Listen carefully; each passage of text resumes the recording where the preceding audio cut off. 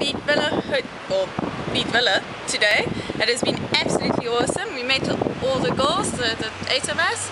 Um, everybody's really nice. Um, and then we also got to meet Banjo Model Management, which has been pretty cool. And yeah, so I've been doing measurements and Polaroids and being good fun. And now having a nice tan in the sun for a little while before we doing a wine evening later tonight. Yeah.